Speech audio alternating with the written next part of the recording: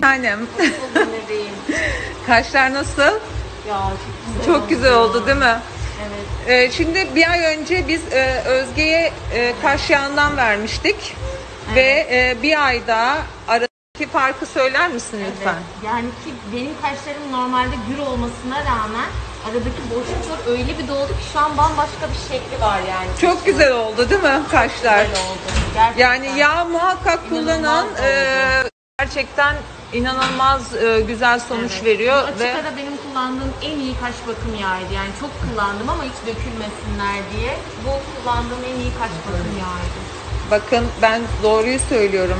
Özgem de kullan. Kaş alanda da marifet var yani. Aşkım benim bir tanemsin. Senin kaşların çok güzel.